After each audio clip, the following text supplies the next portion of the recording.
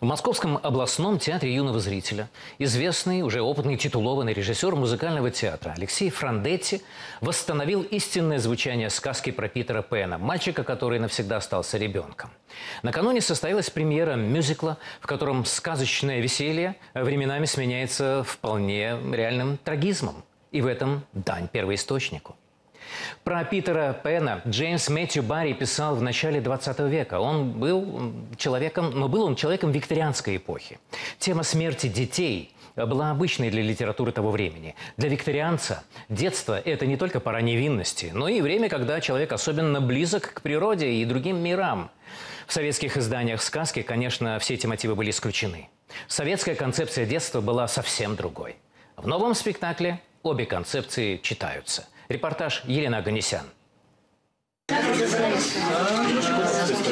Последние приготовления перед премьерой. Среди реквизита – пиратские нашивки, перья индейцев, военная и медицинская форма. События разворачиваются в госпитале времен Второй мировой войны, который разбит в музее Первой мировой войны. «Почитай. Предсмертное желание раненого солдата». История Питера Пенни как проводник для юных солдат, совсем еще мальчишек, в мир мертвых. Трудно семью, чем семья Дарлинга до того, как появился Питер Пен. Это история, в общем, о детях, которые не очень живы, о молодости, которая вечная только тогда, когда ты молодым уходишь, о том, а, что мы, к сожалению, взрослеем, мы, к сожалению, стареем. И вот этот вот серьезный разговор о том, как сохраняется внутренний ребенок, а во что он превращается а, и что нас там ждет, мне кажется, вот об этом наш спектакль. Постановка максимально приближена к оригинальной истории Питера Пена. Ее автор Джеймс Барри, шотландец по происхождению, задумывал Питера трагичным мальчиком, который считал, что умереть – это тоже интересное приключение.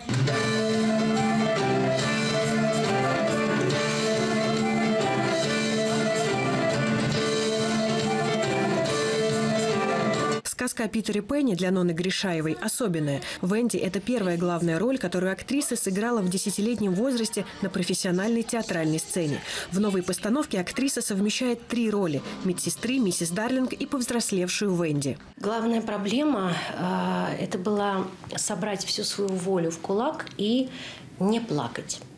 Потому что финальная сцена, как только я произносила текст, что я не могу летать, потому что я выросла э, градом слезы, и тут же надо петь финальную песню, а петь, когда ты плачешь, невозможно. Не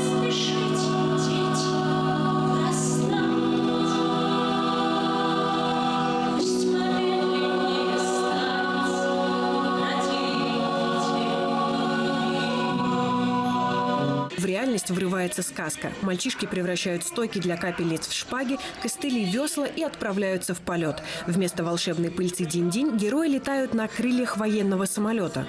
Это реальные модели экспонатов Лондонского музея королевских ВВС. Так или иначе, все мужчины – это когда-то мальчики маленькие, которые выросли, но этот маленький мальчик все равно всю жизнь с тобой. И какие-то вопросы – все родом из детства. Поэтому взрослые люди, мне кажется, в этой истории тоже найдут для себя много интересного, и какие-то мысли у них появятся. И глядя уже на своих детей, они будут вспоминать себя. Как это ты его подкоротил? Отрубил ему кисть и все.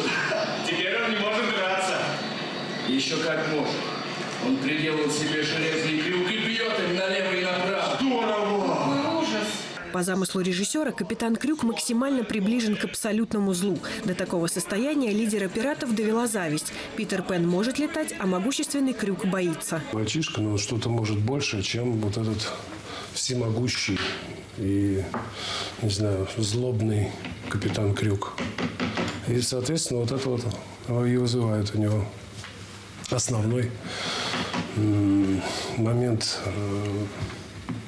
низложения, что ли. Он хочет прежде всего Питера Пена убрать.